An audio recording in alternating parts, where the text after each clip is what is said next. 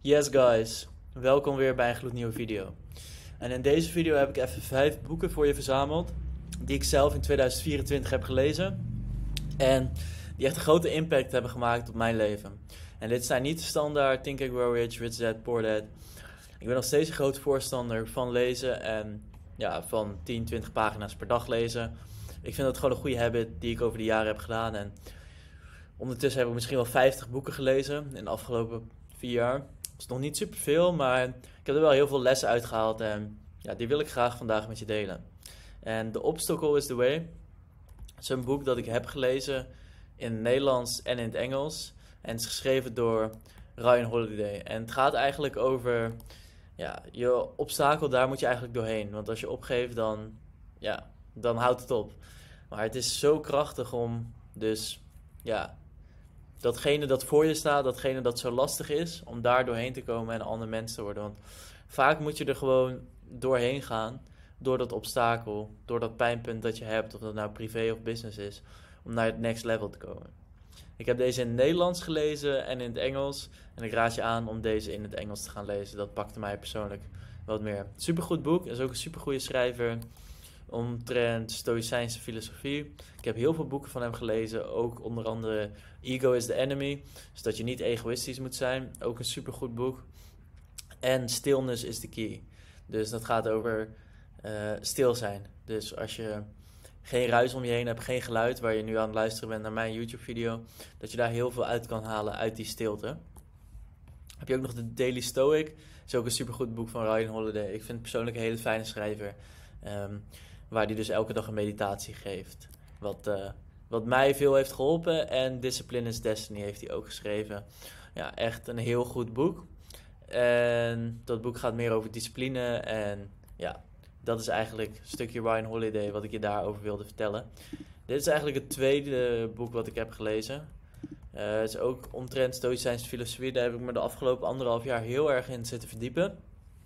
En ik ben daar nu eigenlijk helemaal doorheen gegaan. En het gaat over ja, courage is calling. Dus eigenlijk fortune favors the brave staat er ook. Is over risico's nemen. En ja, wat kan er nou gebeuren?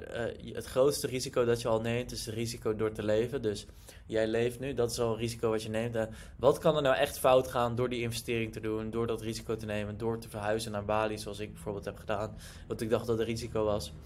Ja, eigenlijk valt het allemaal helemaal wel mee. En ja, risico's nemen is gewoon onderdeel van het leven. En ja, dat heeft mij heel erg geholpen om meer risico's te nemen dit jaar. Die ik eerder misschien nog niet had genomen, of misschien wel had genomen, maar op een lager timeframe. Dus waarom zou je het nu niet doen? Wanneer ga je het dan wel doen? Nou, supergoed boek. Kijken of ik hier nog wat recommendations heb staan. Wat ik, uh... nou, deze ben ik nu aan het lezen. Die uh, Ons Velbare Denken van Daniel Kahneman. Uh, Thinking Fast and Slow, supergoed boek ook. Dan gaan we door naar het derde boek. En deze heb ik van een vriend die uh, ja, mijn huisgenoot is in Bali. Dit is Alles is Fucked, een boek over hoop. Nou, supergoed boek ook alweer. En hij heeft ook nog een ander boek geschreven die ik ook heb gelezen. The Subtle Art of Not Giving a Fuck. En die ging meer over van, je moet geen mening hebben. Want ja, heel veel heb je toch vaak een mening over een ander of hoe een ander over je denkt. Dat belemmert jou in jouw eigen leven. Dus ja, je moet eigenlijk een beetje door die hele fase heen van dat het je helemaal niks uitmaakt hoe andere mensen over jou gaan denken en gewoon je eigen leven gaan leven. En dit boek gaat meer over dus hoop. Nou, nou, je krijgt dus heel veel dingen die gewoon hopeloos zijn en dingen die kut gaan. Dus de aarde warmt op, stikstof, et cetera. Ja, het maakt allemaal helemaal niet zoveel uit. Want ja, als je ergens op hoopt, ja, dan betekent nog niet dat het gaat werken. Want hoop is geen strategie voor succes. En succes is gepland. En dat heb ik van een van mijn mentoren en coaches, Bas Beels uit het verleden. Dus ja, dat neem ik ook zeker mee. En zeker een aanrader om dit boek te lezen. Net als de edele kunst van Not Giving a Fuck. Dit is meer zijn uh, vervolg hierop. Kijken of ik hieronder nog wat toffe dingen heb staan. Nee, nee, nee, dat is hem wel. Oké. Nou, deze is ook echt heel krachtig. Ik ga nu iets meer richting die managementboeken en die leiderschapsboeken. Ook omdat ik een team heb aangestuurd en mensen voor me werken. Wil echt die best mogelijke leider worden dat is wel een beetje het teken van mijn, van mijn jaar. Eh, echt van hustler naar CEO, naar, naar bos te gaan. En dit boek helpt me daar enorm bij. Dus ik heb eigenlijk hierin mijn, mijn volgende vijf moves opgeschreven die ik wil doen qua business. En ja, het geeft je een hele goede overview hoe je dus ja, je business moet gaan runnen en de strategie achter jouw business. Dan heb je ook nog Choose Your Enemies Wisely. Dat is het volgende boek dat ik ga lezen ook nog. Die staat ook op mijn lijstje. The Psychology of Money. Dus hoe geld werkt. Het is heel belangrijk als je geld wil verdienen dat je ook weet hoe geld werkt. En daar gaat dit boek dan weer mee over. The Lords of Easy Money ga ik nog lezen, heb ik nog niet gelezen. En The Million Master Plan is ook nog eentje die ik graag zou, uh, zou willen lezen in de toekomst.